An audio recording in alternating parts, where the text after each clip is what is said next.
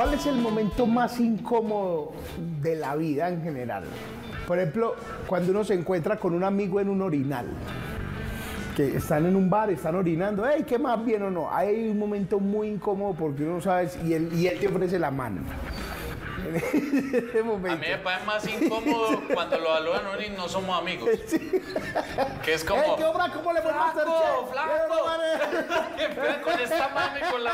¡Flaco! Ah, me va a regalar una fotico ahorita para. ¿Y cómo está el flaquito? incómodo. Es un momento muy infame. Ah, pero ya tengo un momento incómodo. ¿Cuál es el momento incómodo? Incómodo porque lo he vivido y me mucho cuando lo veo. Y es cuando uno va, por ejemplo, pasa un peaje y uno va con la- el, el cosito, pues, de que uno pasa por la otra fila, pues. Ay, y va uno con la seguridad y no le levanta esa cosa y uno. Ay, huevo. No, no, no, no, no.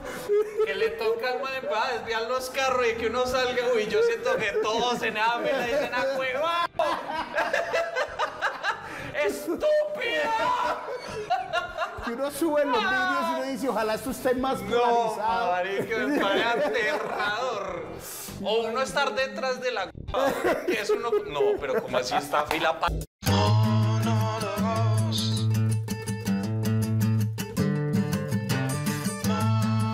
Otro momento incómodo. ¿Qué momento, un momento incómodo de su vida?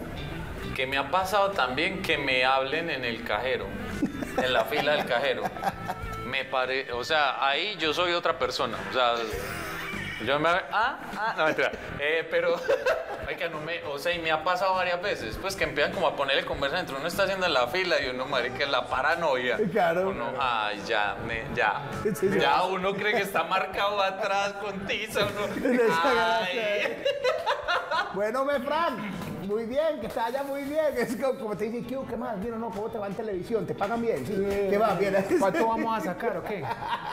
Oíste, eh, eh, de esos muy incómodo es cuando, y se siente al mismo nivel que cuando uno le abre la puerta del baño a alguien, cuando uno va a entrar a un cajero y está ocupado. Que se siente como que, Ah, ay, que como que, que eso, que lo va a robar, ay, qué pena, ay, que no Además que esos caderos cuando se cierra la puerta es como súper íntimo, ¿no? Sí, claro, A cualquiera la puerta no... Yo soy de los que revisa esas calcomanías a ver si sí se ve la clave o no. Y de ahí se ve. Pero me encantan también los, los métodos de seguridad de la gente, ¿no? Pues como que acá y hundir todas después. Como, vamos a borrar la evidencia. Y en la época en que salía el papelito, que era esa canasta llena de papelitos. sale papelito. Yo revisaba saldos ahí a veces. ¿Cierto? Pues de la gente, como a ver cuánta plata tiene la 23 gente. millones, pero ¿dónde trabaja él? Sí. que uno va para la casa cuestionando. Que yo me llevo el mío porque me da pena que vean el mío. Yo con 3 mil pesos. 23 millones, un 14. Eh, qué capo de que trabaja. eh.